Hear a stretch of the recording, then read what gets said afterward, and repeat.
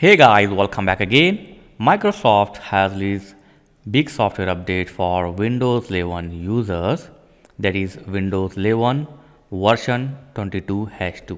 So let's update it. You need to just go to the uh, your PC setting. So go to start and then select the setting and now click on Windows Update. Available update will shows here. If you don't find any update, then click on check for update and it will shows you Windows 11 version 22H2.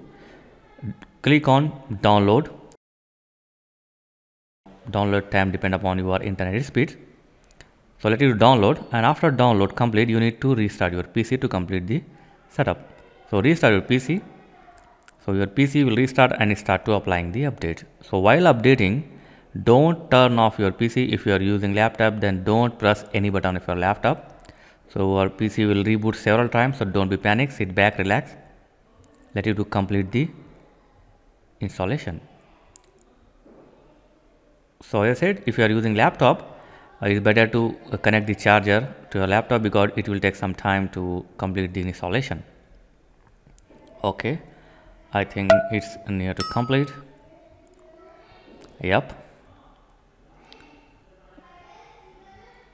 and finally you will get your desktop home screen. So this update will not delete anything from your PC okay?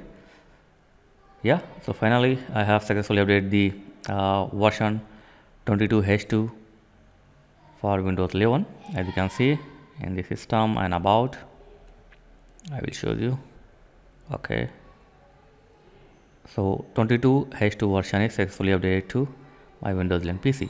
So this is a simple and basic video about uh, new version of Windows 11. So thank you for watching guys. Uh, catch you next video.